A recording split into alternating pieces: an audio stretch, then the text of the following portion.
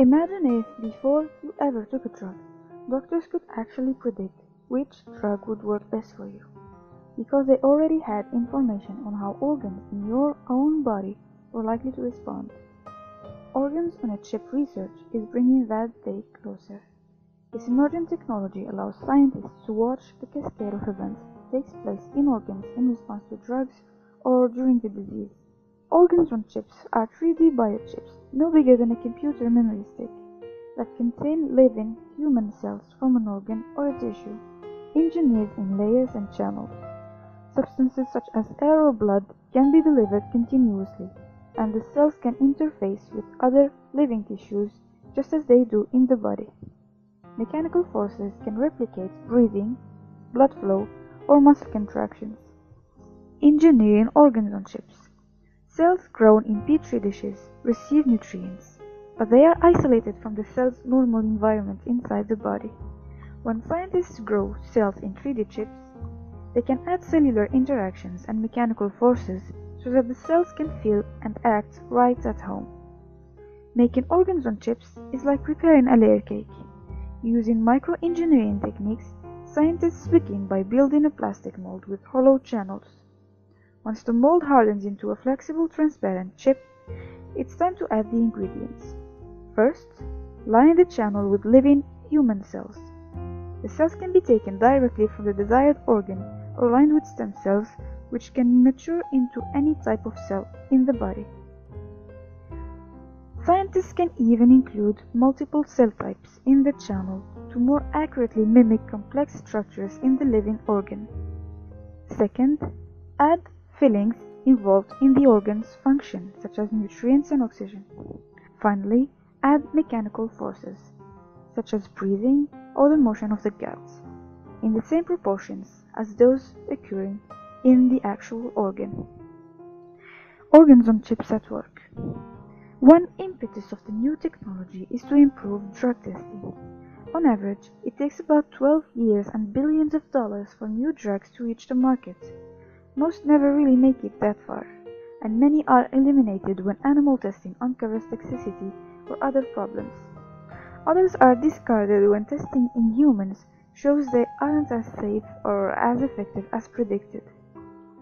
Organs on chips have the potential to shorten the time and cost of new drug development by identifying these problems early. Because organs on chips can be made with cells representing different populations they can address differences between groups. Men aren't really the same as women, and children are not the same as adults, nor do different populations always respond to drugs identically. Furthermore, it is difficult to study rare diseases, problematic to conduct studies in pregnant women or infants, and it's unethical to expose people to lethal toxins. Therefore, organs on chips enable researchers to study things that wouldn't be possible otherwise. Some of the current organs that have been manufactured onto chips are First, lungs on a chip. The interface of lung and capillary cells is where many health problems begin, such as inflammatory responses to environmental toxins.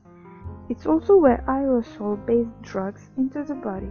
These chips were recently used to model inflammation and to create fluid on lungs. This life-threatening condition can occur as a side effect of a chemotherapy drug. By watching the lung on a chip react to this drug, scientists show that breathing motions worsened the drug's toxicity.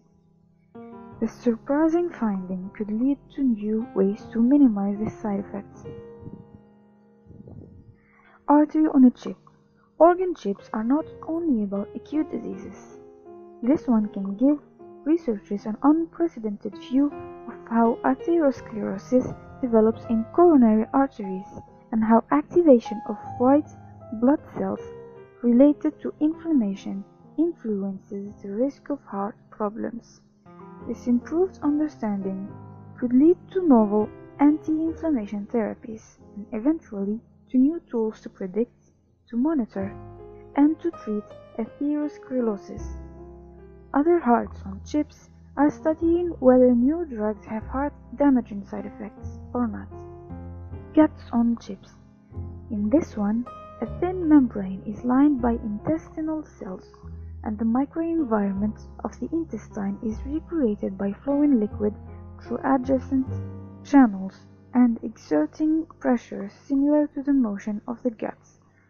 Under these conditions, the cells spontaneously develop hair-like projections that cover the lining of the small intestines.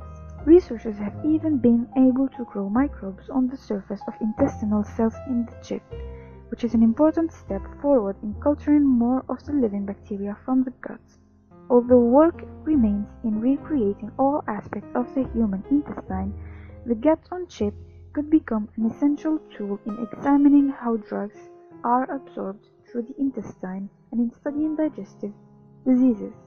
Other organs on chips in development include bone and cartilage, bone marrow, which is very important in studies of radiation, brain, which is important in studies of drug permeability, cornea, fats, kidney, liver, which is a major organ of drug metabolism, nerves, pancreas, which is essential in studies on insulin-producing cells, reproductive tract, skeletal muscles, and skin, as well as tumors on cells, which could lead to personalized cancer therapies. So, while individual organs on chips hold enormous potential for understanding and testing organ-specific effects, the human body is more complex than what an individual chip can actually replicate, which is why researchers are working to link individual organs on chips into one virtual human. The goals are to gain new insight into the diseases and to predict how a drug will affect an individual organ as well as the rest of the body. So let's take a small example to see what we can actually do with it. We could for example mimic infections, where we can add bacterial cells into the lung and add human white blood cells. These are the body's defense system against bacterial invaders and when they sense this inflammation due to infection, they will enter from the blood into the lungs and engulf the bacteria. Here we can see this happening live in an actual human lung on a chip. The blood cells have been labeled so that we can see them flowing through. When they detect that infection, they begin to stick. They stick and then they try to go into the lung side from the blood channel. And you can see here, you can actually visualize a single white blood cell. It sticks, it wiggles its way through between the cell layers through the pores, out on the other side of the membrane, and right there it's going to engulf the bacteria labeled in green. Well, you just witnessed one of the fundamental responses our body have to infections. Today, organs on a chip and the emerging human on a chip technology represents a small subset of all cell types, tissues, and organs in the body. For studies where no organ chip exists, or where the complexity of the interactions being modeled exceeds what technology can replicate, approaches such as animal research are our best option. But these chips have the potential to transfer drug development and study of disease. Thank you for your attention.